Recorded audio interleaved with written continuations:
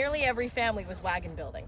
Our parlor became a place in which to paint wagons, and almost every parlor in the neighborhood was put to some such similar use in general preparation for the winter exodus. So, the committee appointed to acquire information in regard to the outfitting of families for Emigration West submitted the following report.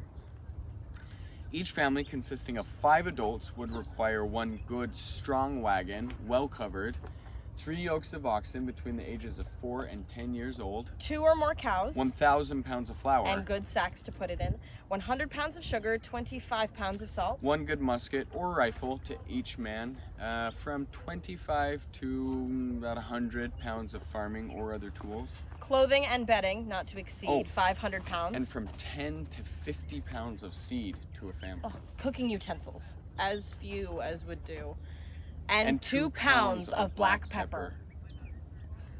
It seems like a lot, but we know the journey will require some four to five months, being upwards of 2,000 miles.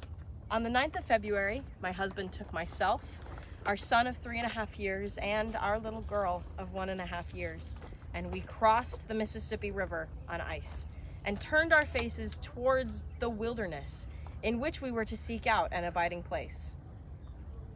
We left behind a comfortable home. The accumulation of four years of thrift and labor, taking with us only a few very much needed essentials and leaving everything else behind.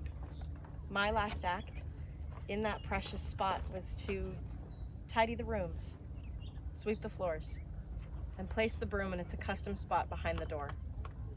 And then, with emotions in my heart, which I do not now pen, and which I strove at the time with success to conceal, I gently closed the door and faced an unknown future.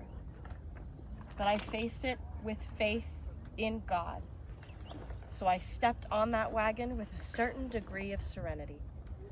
Bathsheba, And George A. Smith.